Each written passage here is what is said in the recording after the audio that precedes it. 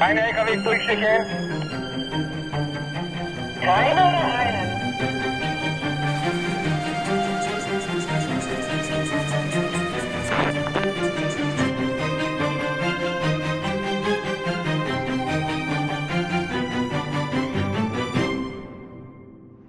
Good morning, guys, uh, from Magdeburg. I am actually riding alone because we go to Chile and we have to therefore ship our truck uh, from Hamburg. And uh, so you're going to see in this video how we ship the truck to South America. So this is exciting. I'm having my morning coffee here at the Elbe in Magdeburg. Beautiful morning. So I have about 300 kilometers left to go to Hamburg. And there I'm gonna meet up uh, with Torben and Luciano and Klaus from Caravan Shippers. Yeah, and then they will tell me what to do next. So stay tuned, enjoy this video. See you when we see it. I am Isabella and I am from Brazil. This is Fabian and he is German. We've been overlanding the world with our home sweet home Frank the Tank for the past almost four years. And together with our son Mateo and our two lovely dogs, Uni from Spain and Basco from Germany, we are living even for before. Subscribe and welcome to the family. Now you can see I found this one in the middle of nowhere, but it's a nice truck stop. So let's get some food on the way to Hamburg with a lot of other truckers. So I decided to drive the 700 kilometers from Regensburg to Hamburg to the harbor in two days. A couple of months ago, we decided to, to ship to Chile. We asked what possibilities we have. In the beginning, they told us to ship roll on, roll off directly from Hamburg, but the shipping company decided actually one week before we wanted to drive to Hamburg to not allow trucks fully equipped anymore. So, no bikes, no clothes, no nothing you were allowed to bring. Obviously, in this case, uh, we said this is not possible because we live in our truck and we need our stuff with us. So, Caravan Shippers was so nice to find another solution and this solution in this case is called a flat rack shipping. And you're gonna see this in that video.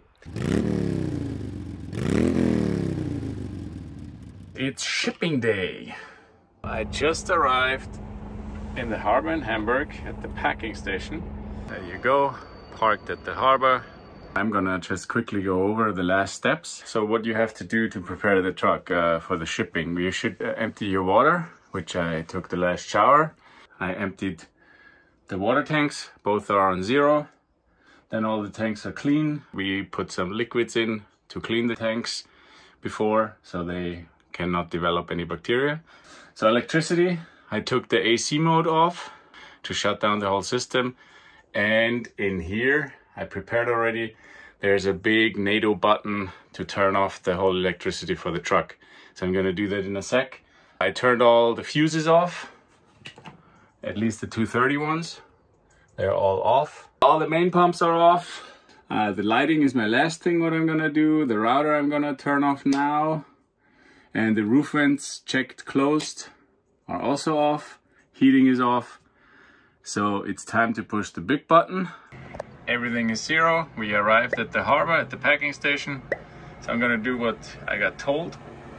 First time I switched this off. Maybe I need one, two, three seconds. There's no blue light anymore.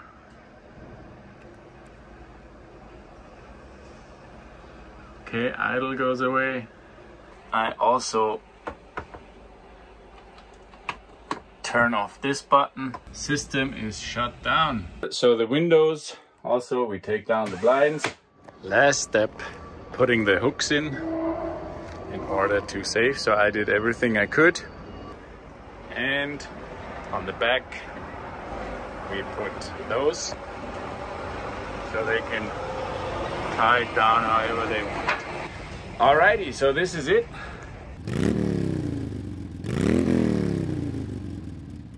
Now, uh, Torben from Caravan Shippers, he's just coming with his own car. He picked me up, or we met. Then we went to an office where the people are, uh, yeah, taking our truck and or putting the papers ready. So all I had to do, I had to tell them that it's my car, and that's it. Sign a little paper, and off we go. And here is Torben. Hi guys, we are here in the harbor with Torben from Caravan Shippers. Hi there. Thanks for being with us, and we are obviously in front of our truck and gonna ship it to Chile this time.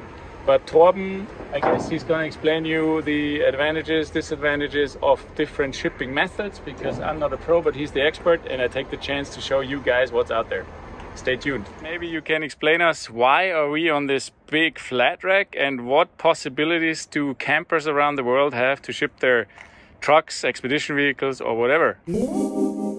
Yes, generally vehicles of that size will be shipped RoRo. This is uh, the common way where the motorhome will be driven on its own wheels inside of a big ferry boat, so to say.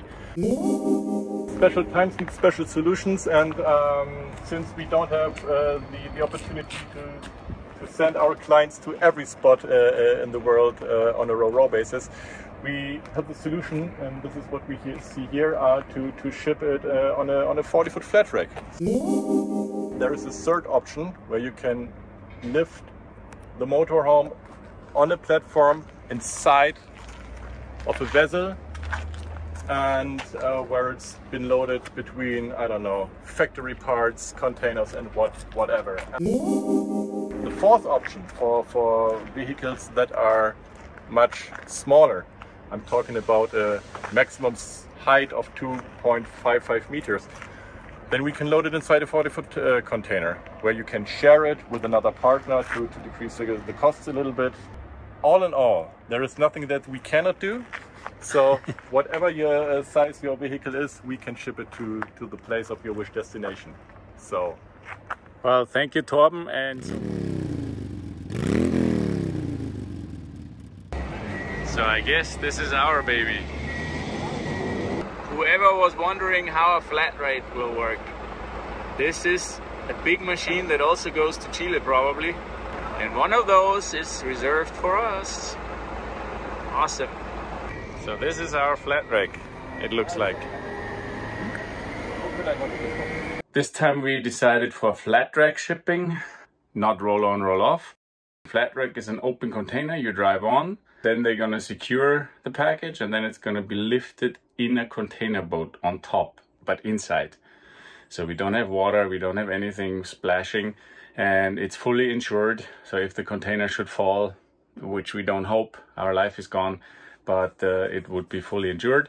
And the positive part is I can drive it on myself. I can lock the truck and then until I pick it up at a station in Chile, which is not the harbor, which is the company, they take it out. Then you go there, you do your aduana, your toll, your customs, and uh, then you drive it off again. So that means there's no mistake driving the truck or whatever, whatever could happen on roll on, roll off.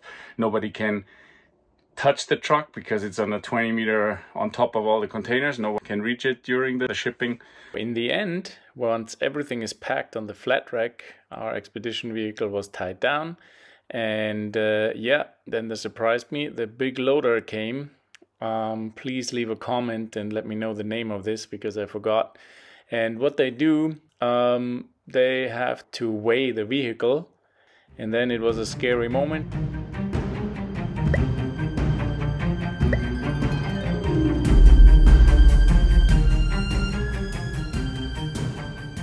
because obviously they're gonna lift the whole flat rack up and then they're gonna test how much it weighs, put it in the papers, and then they're gonna transport it uh, to the terminal, and there it's gonna be parked until the boat comes, and then the big machines come and lift it into the boat. So on the boat, uh, we got told that we're not gonna be parked outside. We're gonna be parked inside the boat. The container ship is gonna open. Our flat rack will be the last one that's gonna be inside.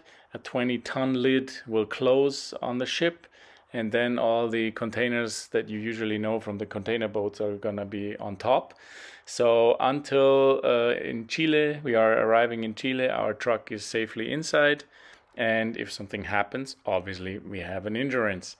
So there's several points on and off. It's a little bit more expensive, um, but I think whoever uh, drives his life around and spends a lot of money and time in his truck uh, can pay that to change for a continent because you usually you don't change continent for just four weeks. At least we don't.